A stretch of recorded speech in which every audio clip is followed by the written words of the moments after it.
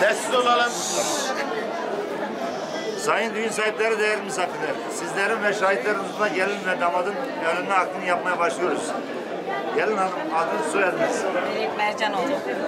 Damat bey adınız soyadınız. Gökhan Sevim. Yüksek sesle. Şahitler, siz adınız soyadınız. Orhan Kahraman. Sibel Sevim Kahraman. Evet, bizlerin ve şahitlerin huzurunda evine istediğinizi beyan ettiniz. Gelin hanım, size soruyorum. Hiç kimsenin etkisi altında kalmadan, kendi özgür iradenle Gökhan Sevim'le evlenmek istiyor musunuz?